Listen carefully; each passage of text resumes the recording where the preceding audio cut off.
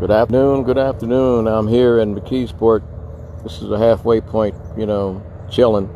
I'm getting another bike ride in on my new bike, though, so on this beautiful fall day. So I did a post, man, which is getting a lot of love out there. It's about like start living and enjoying life, man, you know, and stop letting it pass you by, man. All we do is work and pay bills, grocery shop, and sleep and watch television. a lot of people you know, we got to stop, man. You know, I'm 65 years young. I really can't believe it. I'm not saying that I'm not grateful, man. I'm just like, man, you know, getting older, man. You're not going to be here forever, though. So, you know, get out there and enjoy it, man. I know I am.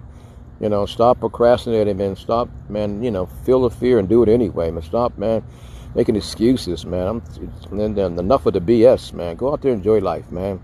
Have fun. And peace.